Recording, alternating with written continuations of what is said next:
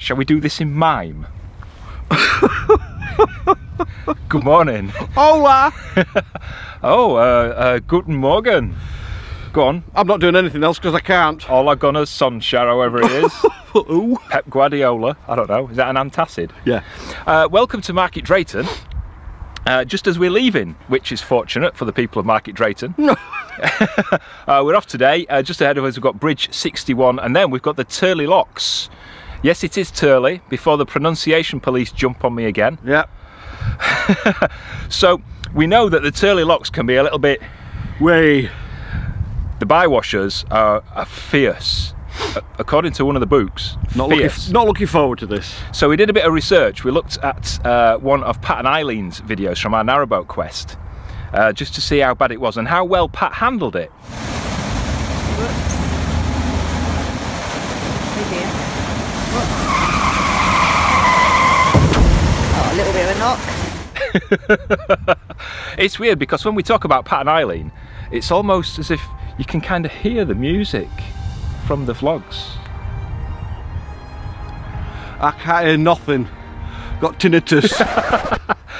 So the Tyrley Locks today, and we're hoping, uh, if the weather stays like this, to get as far as Shebdon, uh, where we, we might moor up there if we like it. If we don't, we might carry on a little bit further. Let's see how we get on, eh? yes, let's go.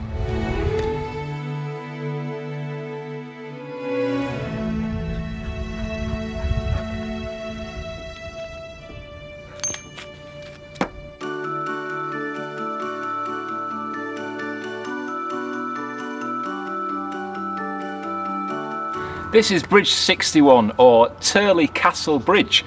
Uh, it only carries farm traffic, it's not a road bridge, uh, but it got me wondering, Tyrley Castle, never heard of that, so I had to Google it, and apparently they did start building Tyrley Castle back in the early 1200s. It's about half a mile up that road there.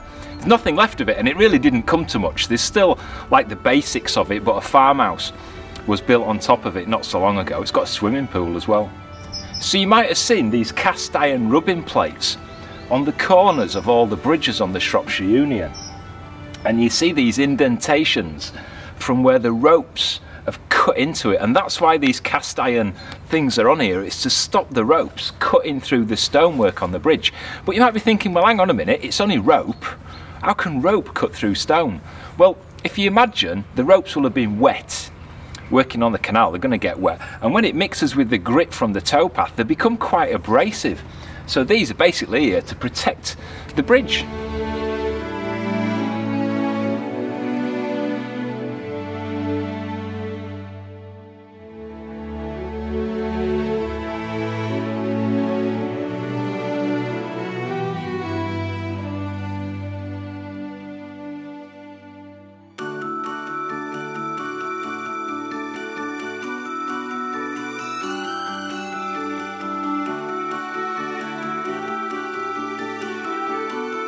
This is Tyrley Cutting.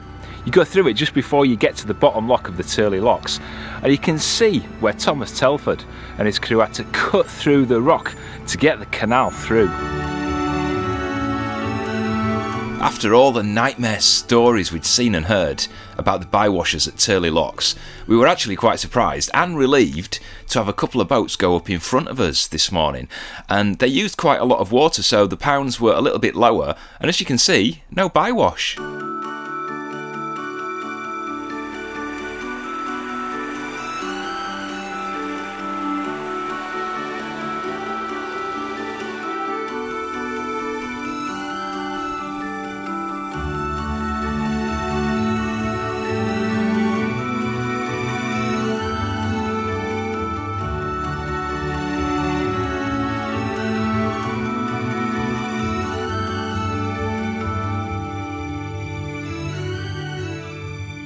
Noticed on the Shropshire Union that all the lock gates are painted grey and white rather than black and white. I don't know whether that's just a Shroppie thing.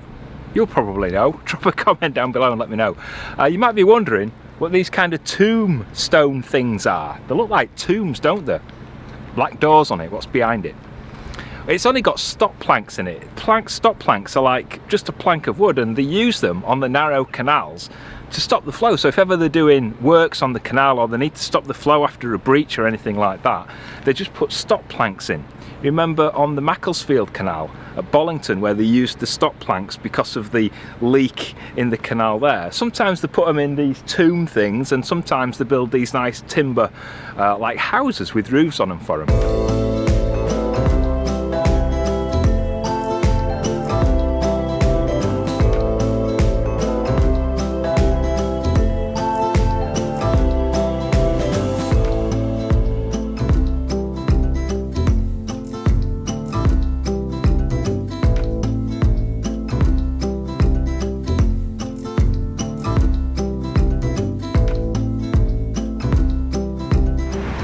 The top of Tyrley Locks, you're rewarded with this little beauty. This is the old stables, and Tyrley Wharf is next door. It's originally built for the boat horses with the stables, but Cadbury used it from 1917 and they used to load churns of milk onto the boats and deliver it down to the Knighton Cadbury chocolate factory just a couple of miles down the canal. We'll get there in a bit. This has been done up though. In 2013 it was turned into a home. It's now a grade 2 listed building and it's lovely. It's been a parish hall, a Sunday school and even a polling station in its past, but it does look nice now.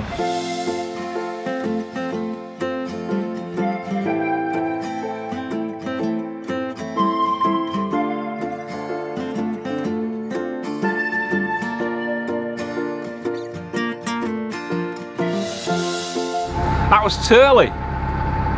Quite sad, isn't it? It's quite a depressing place now. The stables, the house and the, the wharf are all lovely. But on the other side of the canal, you've got the moorings and there's no mains water, so the water point doesn't work. The services, the Elsan, the pump out, none of that's working. It's a bit sad and depressing. There's water everywhere where it's been flooding and it's just not a very nice place to be honest. I feel sorry for the boaters on the permanent moorings there because they have to either go a few miles to Market Drayton just to get water or like we saw, uh, a really elderly couple have to walk with big buckets and containers over to the house and ask for water from them. Not ideal, is it? Not good. Anyway, onwards.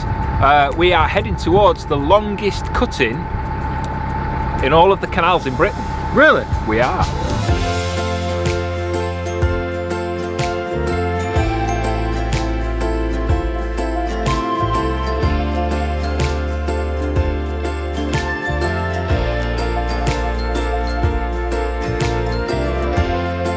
This is Woodseaves Cutting.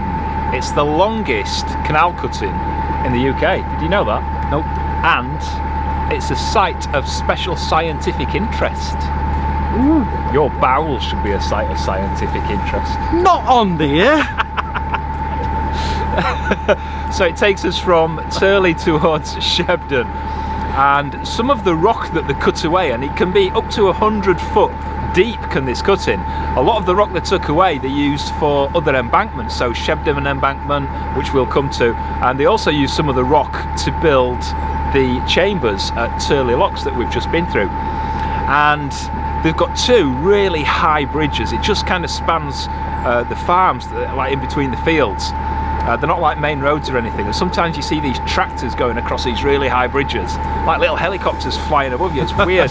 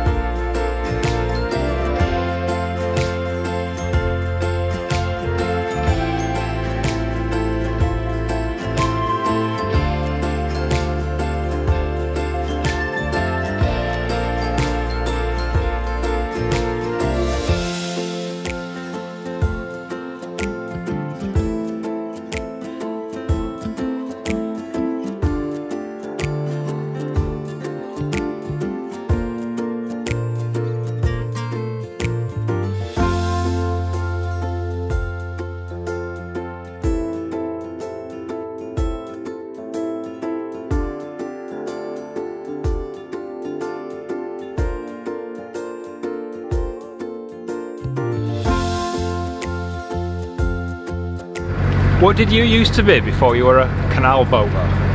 Bus driver. a bus driver, and what about before that? Truck driver. Truck driver. And I used to be a, a radio presenter and a personal trainer. Respectable names. You don't know where I'm going with this, do you? No, I've no idea. It got me thinking when we went through Tyrley. Tyrley. So we're looking about what kind of uh, professions used to live at the stables and at the wharf. Lengthsman. Wharfinger. How come they had like really cool names back then? I want to be a lengthsman. Why are you laughing? Why is that funny? You're more of a wharfinger anyway.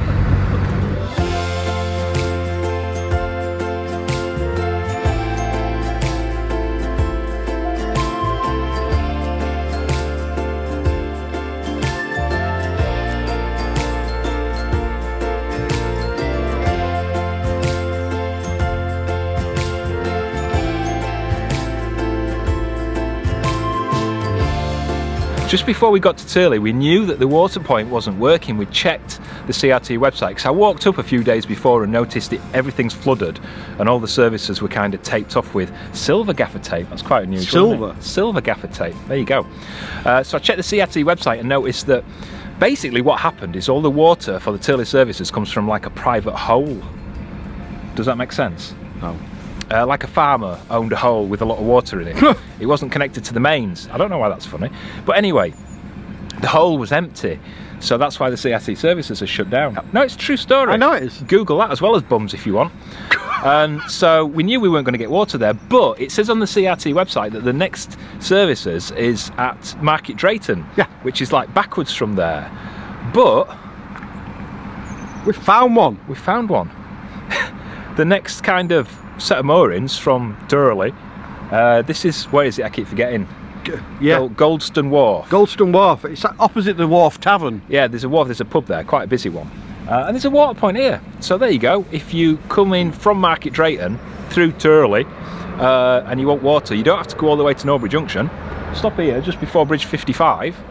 But watch out for the speeding boater. Oh, When we were coming through Woodseaves Cutting, uh, we noticed a boat coming behind us, and it was making some progress because we could see the wash it was making behind it. And we don't normally name and shame boaters, but when we pulled in, it clearly could see us. It was like 100 yards behind us. And it saw us pull in, Sean holding the boat while we got it secured Trying. for the water point, and it came tear assing past us. So I very politely, very, you know what I'm like, I'm quite polite, said, uh, Excuse me, would you mind slowing down? We, we're holding the boat. They ignored me, blanked me completely. So I went running after. I think it's on the GoPro footage. But again, very, very nicely said, Excuse me, Sean's trying to hold the boat and you're kind of going way past wash, creating a wash, and he can't control the boat. Oh, I thought your boat was moored. well, that's no excuse. You go slow past moored boats anyway. Uh, so I've booked them on an RYA helmsman's course. have you? Yep, at their expense. Cool. We're off for a pint now. Ah!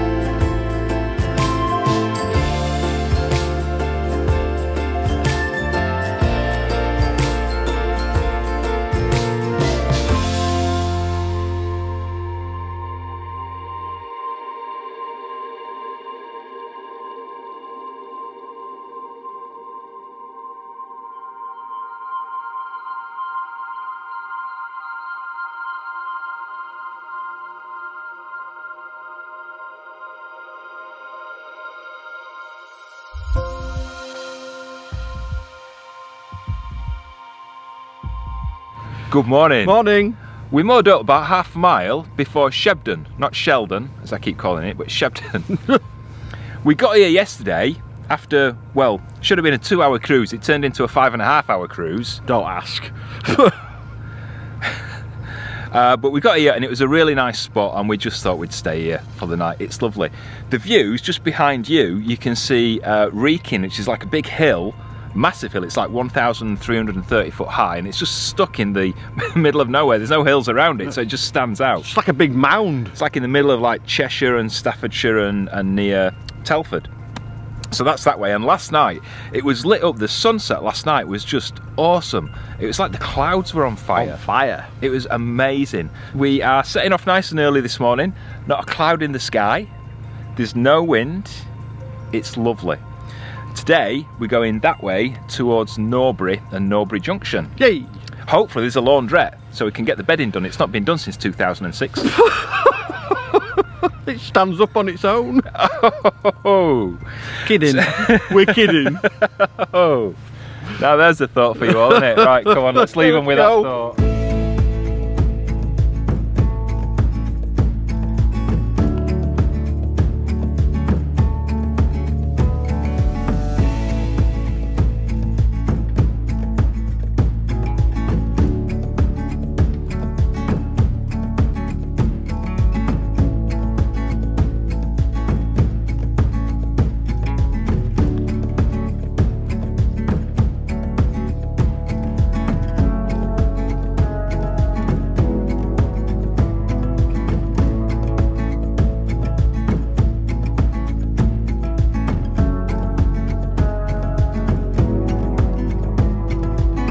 This is the Knighton Food Factory. It was built in 1911 by Cadbury.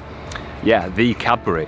And what would happen is every day, all the farmers, the dairy farmers locally, would leave the fresh milk on wooden stages like piers at the end of the fields.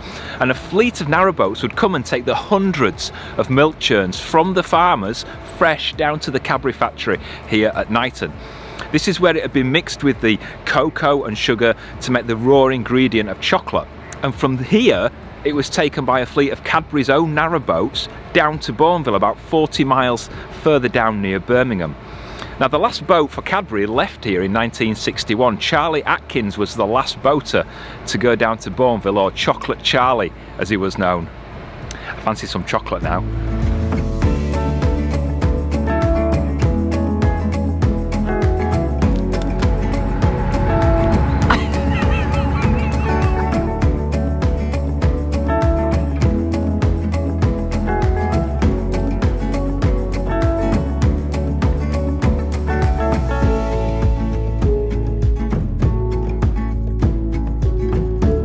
You don't really think much when you're cruising along it, but imagine back in the early 1800s when they were building this thing, if you had like a farm and your house overlooked all the fields and everything on a lovely sunny day like this, and then all of a sudden one day you wake up and this is Thomas Telford's built this great big embankment across your back doors. You won't be very happy, would you? Uh, but it's had a few leaks as this one. Back in 2009, they had to close it. It started draining away, and it affected the canal from Norbury all the way up to uh, Hurleston Junction, which is miles back that way, past Nantwich.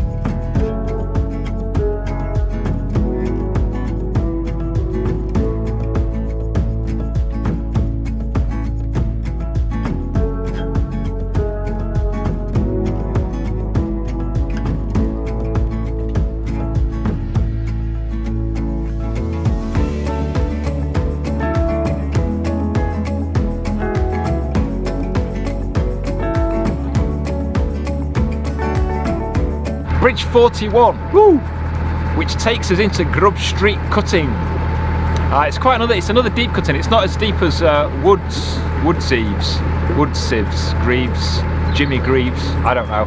Uh, it's about eight, 80, 90 foot deep is this one, uh, whereas Woods, Jimmy Greaves one is, is about 100 foot deep. And uh, it suddenly got busy, we haven't passed a boat all day, And there's boats everywhere. And then one pulls out in front of us. It's the same Speedy Gonzales boat from yesterday. Do you remember where Sean was trying to hold the boat? It's like meow. Uh, so they pulled out in front of us, but they disappeared. Yeah, they've gone. Uh, but we've just had a hire boat go past us that way, uh, which is unusual for this time of year. Uh, now we've got another boat coming straight for us, so I'm going to move the camera just in case.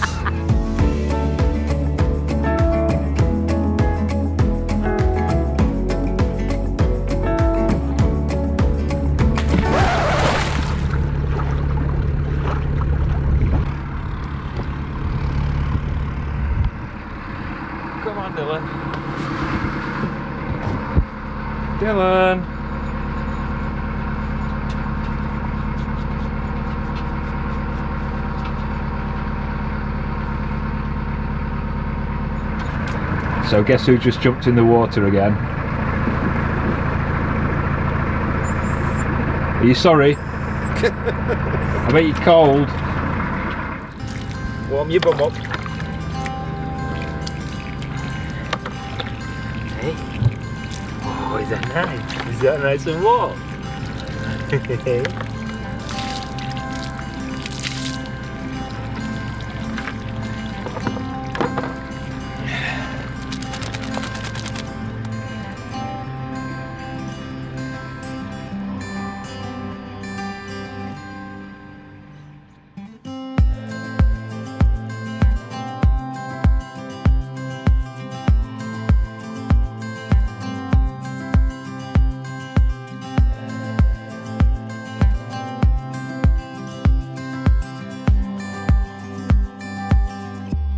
Coming up to the Double Arch Bridge, uh, it's Bridge 39 and it's instantly recognisable because it's got this telegraph pole sat on the middle arch of it.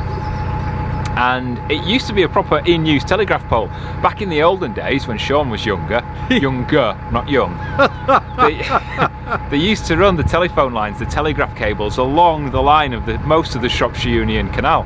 So it's kind of one of the relics that's still still there. They've not taken it down yet and apparently this bridge is haunted did you know that Oh, is it? it's haunted by the man monkey of Ghost 39 Really? Sounds like an old friend of ours, doesn't it? Seriously, 1879, a chap was carrying suitcases for somebody over the bridge uh, about 10 o'clock at night, and apparently this this big dark beast with massive bulging white eyes jumped out on him and jumped on his horse. Wow. So the man, obviously a little bit shaken up by this, tried whipping him with his whip. Don't get excited. tried whipping him with his whip, but the whip went straight through him. Ooh. And he rode all the way to wherever it was he was going with this other bloke's suitcases with this man monkey on his back. There you go. Spooky. I don't know how much he'd had to drink. Quite a bit by the sound of it. I think I've got a shadow on me now, haven't I? Yes. Oh no, it's the man monkey! Oh!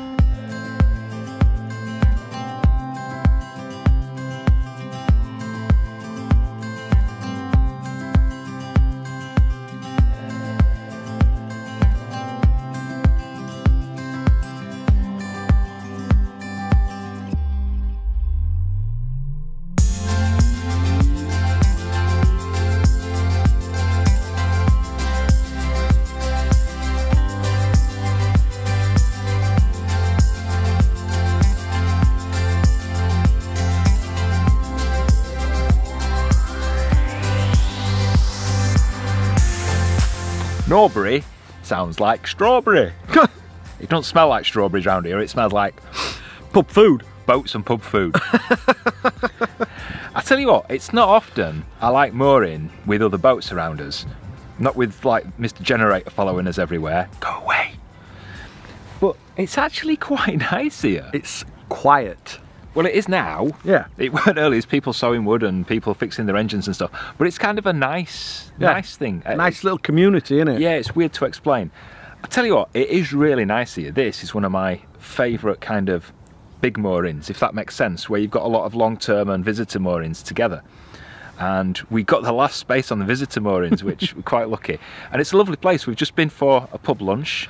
Uh, there's a pub just on the junction. I'm not going to tell you what it's called, but it's a pub on the junction.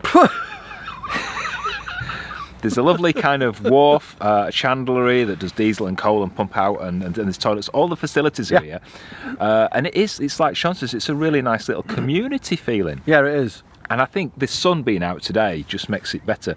It's like spring, isn't it? Yeah, it feels like spring today. It really does. Uh, next time you see us, we're going to be leaving Norbury, heading further south towards the end of the Shroppie.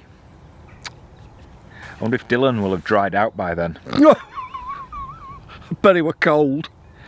We don't know what happened. I was on the roof doing some photography because we were coming up towards Bridge 39, you know, the Telegraph Bridge. And all I heard was Sean kind of in that final second of no. and then I heard the splash, and when Dillon goes in, it's a very distinctive splash. He was running in and out of the boat looking for Colin. So, so I had to come back, and then we. Luckily, he had his jacket on. He always has his jacket on when Yeah. we're cruising, so we were able to pull him straight out again. Poor little thing. I mean, the water is absolutely freezing cold. So we got him on the towpath, and we were just rinsing him down with warm water. Uh, just to warm him up and, and get the canal water off him. Uh, and then we had to we keep looking down there he's sat looking at us. Uh, then we took him inside we towelled him down and uh, put him in the warm. He's absolutely fine. Tail never stops wagging even though he stood there shivering freezing. Even in the water, well, like a little propeller behind him. and he has this really good instinct as soon as he goes in because obviously the boat's moving we turn the prop off straight away as soon as he goes in prop stops and he comes swimming towards us he's a, he's a good little swimmer isn't he yeah, he is. He's looking all sorry for himself. Uh, anyway, excitement over. Uh, we hope you've enjoyed this vlog. If you have, uh, please support us by giving us a thumbs up. Uh, if you're not already subscribed, just click that button down below. As soon as you've done that, hit the bell, and uh, and YouTube even will let you know every time we release a brand new vlog. It's the notifications bell. Uh, if you want to support the channel, there's two ways you can do it. You can become a YouTube member. Just click the join button on our homepage for more details on that, or you can become a Patreon. There's a link to that coming up just after the outtakes. Yes. Any comments or feedback or anything if you want to feel sorry for Dillon or correct me on my pronunciation of anything? you can Which do you so. will. You can do so down below and take care of yourselves and we'll see you next week. Take care. Bye bye. See you, bye.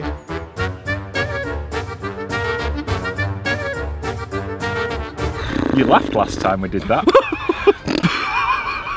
I've got a bit of a reti- re- re- yeah, yeah. Can you hear it? Hi. Even with your tinnitus. Yeah. Sorry. What place are we talking about? Lundwood. Lundwood. In kind of woo. Because I bet you. I, I, yeah, yeah. And try again. Wow, we did something in one take. Out of wood. Are you alright there? Bit snotty. He's a Charlie. Durley. Tyrley. Durley should be in Lancashire, shouldn't it? Is uh, I've forgotten the name of it. Uh, behind you, behind, behind, he, hind. I think we've got to do that again. You all right, Maud? Wah. I am Gert. Uh, You'll get, you'll get letters. got to cop, got to cop start getting. Yeah, yeah. I might do well in prison. A nice boy like me. yes, woof woof woof. Hundred green bottles hanging on the wall.